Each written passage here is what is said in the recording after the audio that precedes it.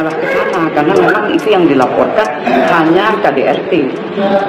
Oh, untuk domisili atau tempat tinggal mereka masih bersama tuh dengan status alamat yang sama. Kita belum belum dalam se, se, se itu karena memang hanya dilaporkan untuk KDRT-nya saja. Oke, kondisi ke Prahara KDRT yang menimpa Leslar antara percaya dan tidak tentu membuat kita penasaran. Namun Lesti sendiri masih mengunggah tuturan hijab di LA beberapa waktu lalu. Kalian ujung sini tarik gitu, pokoknya di, dinyamanin sampai ke belakang gini, ditarik ke belakang, lalu jarumin. Nah kayak gini, aku dipakein jarum lagi di atas sini. Yang panjang ini, kalian tarik ke sini, tarik kayak gini. Tuh, ini udah kelihatan? Begitupun kakak Bilar ya beberapa waktu lalu ia mengunggah kebersamaannya bersama abang kesayangan kita yakni abang El guys ya dan ia pun tak lupa memberikan caption yang cukup menarik ya. Sekarang beranjak pada saudara laki-laki kakak Lesti yang mempersiapkan proses pernikahannya Beni Mulyana. Nampak bersiaroh ke makam. Mendiang ayah istrinya sepertinya guys ya ia bersiaroh ke sana. Ya kita dibuat puyeng dan pusing dengan hal tersebut tetapi tentunya dari hal tersebut kita bisa paling tidak menelaah. Harapan kita adalah ketidakbenaran akan kejadian tersebut. Dari air lobster yang membagikan uh, pesan bijak serta juga uh, Om Kevin yang sempat mengunggah acara Leslar di SCTV World namun kemudian dihapus dan hal tersebut menjadikan sesuatu yang janggal di berbagai momen keluarga Leslar tentu hal itu juga adalah hal yang memperkuat semoga saja. KDRT Leslar tersebut hanyalah S3 marketing guys. Bukan nyata. Tetapi apa pun yang terjadi tentunya kita selalu siap. Selalu ya hmm, bisa dan harus bisa untuk menerima apa pun kejadiannya. Namun harapan kita apa pun itu akan menjadi ibu, akan menjadi pelajaran terbaik bagi kita dan juga bagi Leslar ke depannya. Karena ntar malam kalian tahu bahwa itu adalah acara infotainment guys ya.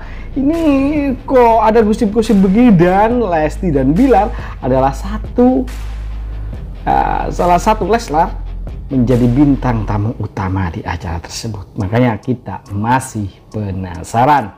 Yuk simak ini rentetan-rentetan peristiwa sebelumnya. Leslar dan pihak kepolisian dan lain-lain silahkan kalian telaah bagaimana akan simpulkan nantinya di kolom komentar guys. Semalam datang Bu dalam keadaan terguncang atau seperti apa Bu? Nanti kita cek ke, ke penyidik. Lesti datang sendiri atau sama kuasa hukumnya? Makasih Bu. Bentar. Tadi ketinggalan.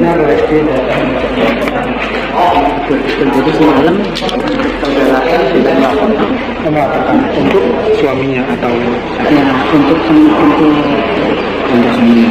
nah, eh, itu jam berapa bu kalau boleh malam. Proses pelaporannya sendiri berapa memakan waktu berapa lama sih Bu semalam itu dengan Dede? prosesnya nggak lama sih melapor. eh, jadi saudari kita L melaporkan eh, bahwa dia sudah eh, diperlakukan eh, KDRT ya.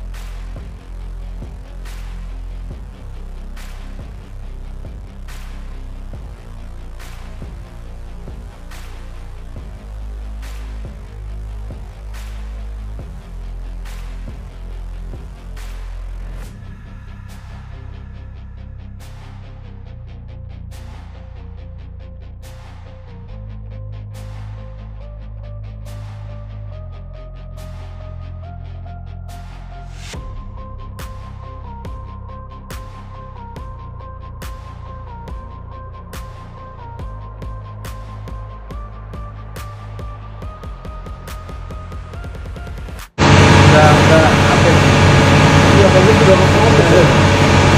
Nah, abang abang up up up up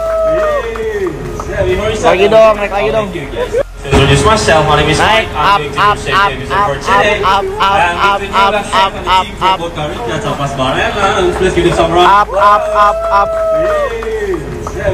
dong naik lagi dong. 180 nyangkut soalnya kursinya sini aja deh.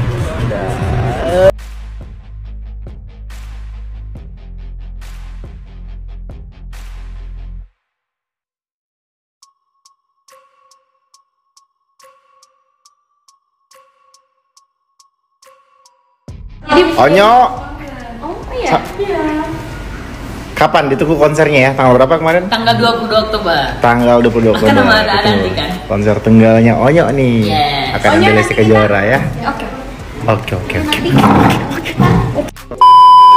gua tanpa istri gua tanpa kenal Lesti tidak mampu membeli sesuatu yang sekarang gue punya gue tidak mampu lah mencapai segala sekarang yang gue punya begitu juga sebaliknya tapi Lesti pun juga ada hal-hal yang di- mungkin dia tidak mampu untuk mencapai itu tidak mampu untuk Gak akan beli tas Hermes, Dede mendingan Dede beli Gitu. sawah kalau Dede gak kawin sama Rizky Bilar. iya gitu dan gue Punya duit Dede mendingan Dede tabung aja ya karena Dede punya suami baik, soalnya kayak raya.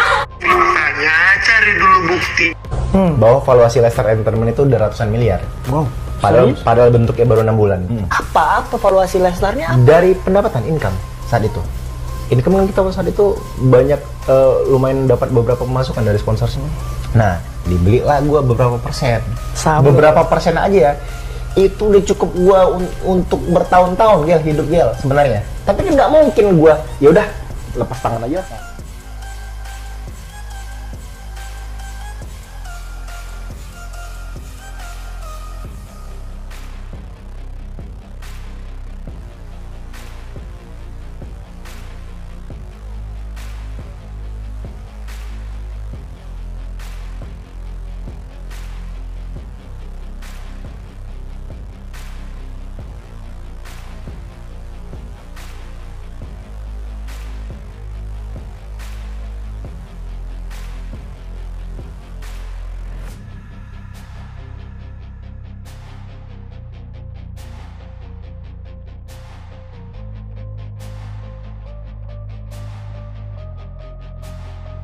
Lesti.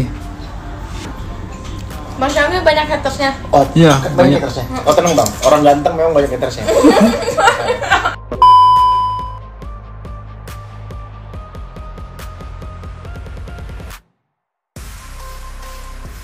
Bagaimana menurut kalian guys? Jangan lupa kasih komentar, like, dan masukan agar tambah seru keuangan mereka berdua yang so selalu akan kita sajikan kabar terbaru terupdate tentang selebriti tanah air dan mancanegara yang bakal bikin kita semua happy senang dan update akan kabar berita terbaru tentang mereka tentunya.